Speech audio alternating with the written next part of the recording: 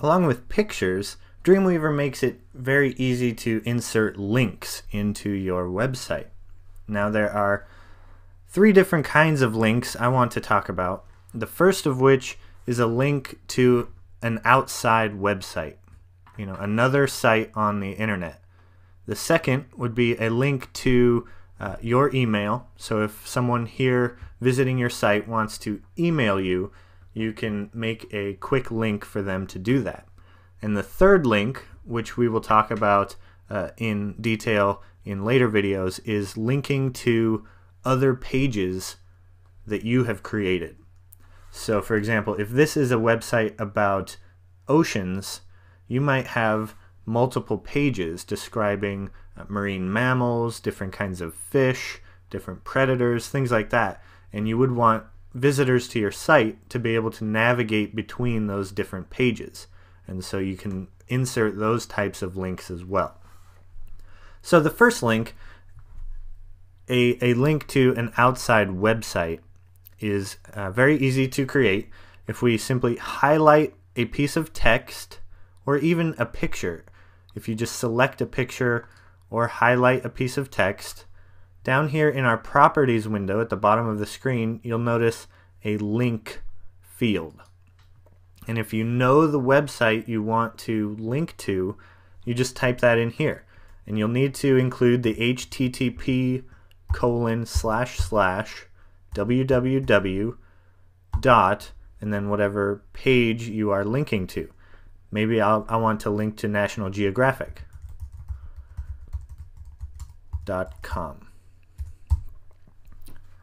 And then once you have your, your website linked in here, simply click off of your text and you'll notice that it turns blue and underlined indicating that it is a link.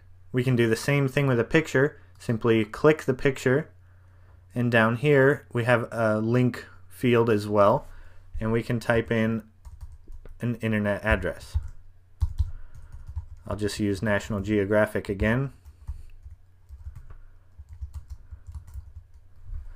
Click away from it and that picture now becomes a link. If we do File, Save, to save the changes we just made, go into our internet browser and if we already have the website open, just click refresh and you'll notice the changes have been made and if we click on one of those it takes us to the website. And if we go back and click on the other one we just made, again takes us straight to the website we linked to. The other link, the second one, for email is very similar, but if you just type in whatever kind of text you want, email me for example, and we highlight that text, and then we go to insert email link. And it asks us the text again. Uh, if we want to modify that, we can. And then it asks what email address you want to be established. You type that in, hit OK, and now this link will activate an email program for them to email you to the address that you just defined.